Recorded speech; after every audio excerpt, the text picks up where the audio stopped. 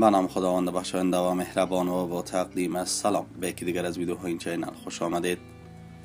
به نقل از سیهون دری. نیروهای ویژه امنیت ملی سرگروپ دسته ترورهای هدفمند گروه طالبان را بازداشت کرده است. او وظیفه ترور سارنوالان کارمندان دولتی افسران اردوی ملی و افراد ملکی را داشت. همچنین به نقل از آماج نیوز. امنیت ملی. سرگروه ترورهای هدفمند گروه طالبان در ولسوالی قرباغ ولایت کابل بازداشت شد. همچنین در خبر دیگر طراح حمله غزنی کشته شد. وزارت دفاع. وزارت دفاع افغانستان اعلام کرده است که طراح حمله غزنی کشته شده است. این وزارت به روز دوشنبه سی نوامبر در اعلامیه از این فرد حمزه وزیرستانی نام برده و گفته است که حمله انتحاری با استفاده از موتر بامگذاری شده را بر یکی از پایگاه های اردوی افغان در غزنی سازماندهی کرده بود. وزارت دفاع افغانستان گفته است که این فرد با هفت از امراهانش در نتیجه حمله هوایی هدفمند نظامیان افغان دیشب در روستای علی شیرخیل ولسوالی گیروی غزنی کشته شده است. روز گذشته 29 نوامبر نوی قوس در نتیجه انفجار موتر بامگذاری شده در ولسوالی دی یک غزنی سی نظامی افغان کشته و 24 نظامی دیگر زخمی شدند.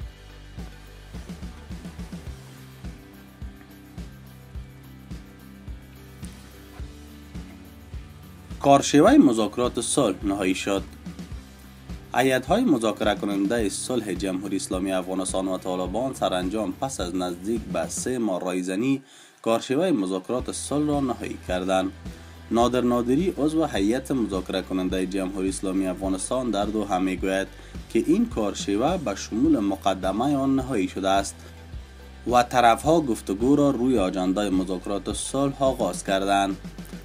در همین حال محمد نعیم سخنگوی هیئت مذاکره کننده طالبان هرچند نهایی شدن کارشیوه مذاکرات صلح را تایید می کند اما می گوید که قرار است بحث روی آجنده مذاکرات صلح آغاز شود.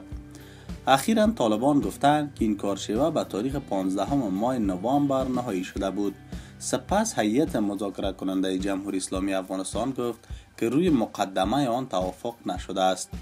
دو طرف در حدود نزدیک به سه ماه پیش مذاکرات صلح را در دوحه آغاز کردند. در این مدت بحث اصلی روی چگونگی ایجاد کارشیوه مذاکرات اصلی صلح بود.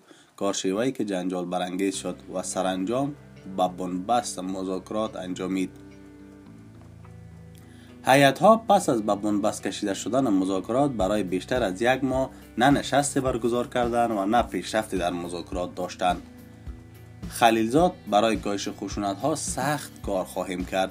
زلمه خلیلزاد فرستاده ویژه امریکا برای صلح افغانستان از نهایی شدن کارشیوه صلح استقبال کرده و گفته است که ما با تمام طرف ها برای کاهش جدی خشونت ها و حتی آتش بس در جریان مذاکرات صلح سخت کار خواهیم کرد.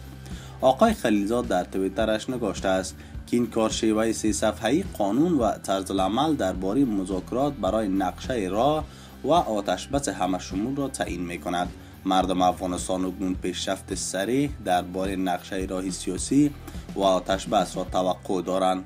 ما خواست آنها را درک و از آن پشتیبانی می کنیم در همین حال دفتر معاونیت سازمان ملل در افغانستان یا یونما نیز با استقبال از نهایی شدن کارشیوه مذاکرات صلح آن را یک گام مثبت خوانده است. اندرس وان برنت سفیر اتحادیه اروپا در افغانستان هم ضمن استقبال از نهایی شدن کارشیوه مذاکرات صلح در دوحه آن را یک گام مهم به جلو خوانده است.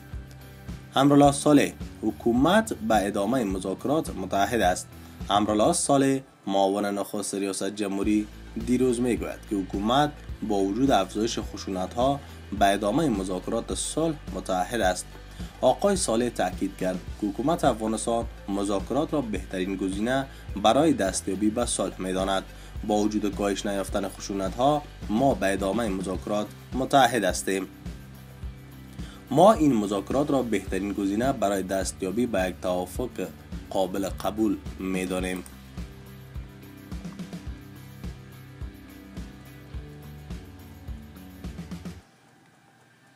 نخستین نشست شورای مصالحه ملی بر روز شنبه برگزار می شود. منابع می‌گویند که دکتر عبدالله عبدالله رئیس شورای عالی مصالحه ملی با رهبران سیاسی که عضویت رهبری این شورا را دارند. سرگرم رایزنی درباره نشست روز شنبه و اجندای بعدی این شورا است. در پی انتقادها از تأخیر در تشکیل شورای عالی مصالحه ملی منابع در این شورا می‌گویند که قرار است نخستین نشست این شورا بر روز شنبه هفته آینده برگزار شود. با گفته این منابع نام های سید اسحاق گیلانی فرخنده زهرانادری و شهزاده شاهد نیز در فهرست نام های 45 نفری اعضای رهبری این شورا افزوده شده است. فهرست نام های این 45 نفر قبلا در فرمان رئیس جمهور غنی اعلام شده بود. فرمان که عبدالله عبدالله با آن مخالفت کرد. با گفته این منابع احتمال دارد نام های رحمت الله نبیل احمد مسعود و احمد ولی مسعود نیز در این فهرست افزوده شوند. منابع می‌گویند که دکتر عبدالله عبدالله رئیس شورای عالی مصالحه ملی با رهبران سیاسی که عضویت رهبرین شورا را دارند سرگرم رایزنی درباره نشست روز شنبه و آجندای بعدین شورا است. سید اسحاق گیلانی رئیس نهضت همبستگی ملی افغانستان گفت بسیار بسارت روی برگزاری نشست کار می‌کنند بسیار زحمت می‌کشد. دکتر صاحب امید است که روز شنبه این جلسه برگزار شود. خیال محمد حسینی ولی پیشین زابل نیز اظهار داشت ما باور نداریم که دکتر صاحب اشرف غنی یا دکتر صاحب عبدالله عبدالله به این توافق کرده باشند.